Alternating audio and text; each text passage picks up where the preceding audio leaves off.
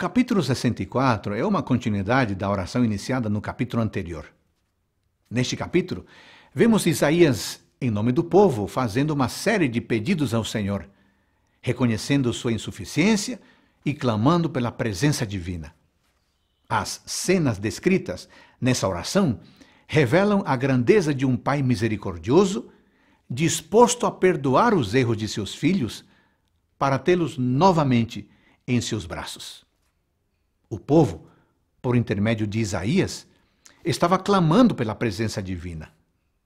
A situação de Israel era desesperadora, mas ele confiava que Deus poderia intervir em seu favor.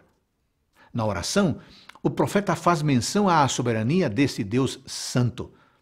Sua presença é capaz de fazer os montes tremerem. É por isso que Israel clamava para que Deus pudesse repetir seus poderosos feitos realizados em favor do povo no passado. Nenhum outro Deus lutava por seu povo como o Deus de Israel. Deus não se alegra com o sofrimento e a injustiça. Pelo contrário, ele fez o que era necessário para ajudar seu povo. Porém, infelizmente, o pecado causava separação entre Deus e o povo. Assim, a oração do profeta foi muito importante, pois ele reconheceu diante de Deus a sua condição e clama pelo único meio capaz de salvar o povo. Vale notar quando Isaías usa a expressão trapo de imundícia. Para ele, a justiça humana é completamente sem valor diante da justiça de um Deus soberano, o Rei do universo.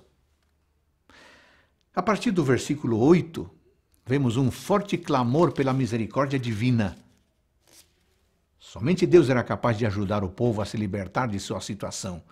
Logo, o povo estava disposto a renunciar à obstinação para ser modelado à imagem divina. Isaías reconheceu sua condição de pecador e estava seguro de que as transgressões trazem as suas consequências.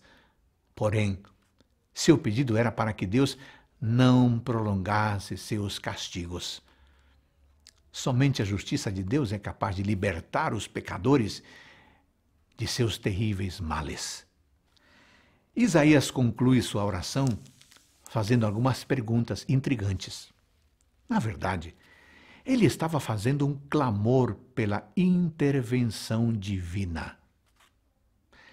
Às vezes, amigos, passamos por essas experiências de Isaías. É possível que você chegue a perguntar: será que Deus não está vendo o sofrimento da humanidade? O fato é que a nossa justiça é muito falha e precisamos clamar pelo auxílio desse Deus justo, soberano e misericordioso.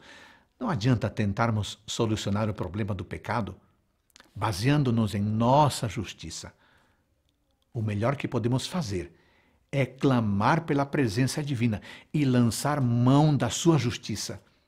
É por meio dele que podemos vencer as nossas maiores batalhas. Faça de Deus o seu Deus agora e prepare-se para as grandes vitórias. Amém.